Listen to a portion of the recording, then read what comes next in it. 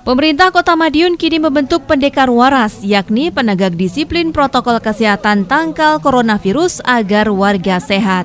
Pendekar waras tersebut disiapkan untuk menjadi garda terdepan dalam membantu masyarakat menerapkan protokol kesehatan, seperti untuk selalu menggunakan masker, menjaga jarak, dan menjaga kebersihan dengan cuci tangan.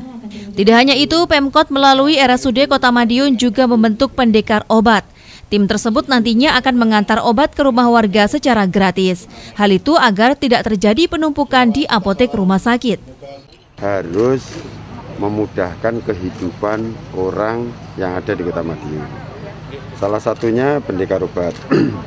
Ini adalah pengantar melayani antar obat, antar obat ke masyarakat. Jadi masyarakat itu kalau sakit di sini habis ke dokter spesialis tahu resep tidak langsung diberikan kepada eh, yang sakit langsung masuk di apotek langsung diantar ke rumah. Kan semuanya gratis langsung diantar ke rumah. Obatnya gratis yang mengantar pun juga gratis. Semakin cepat semakin baik. Jadi ini kita bagi tiga zona tiga kecamatan.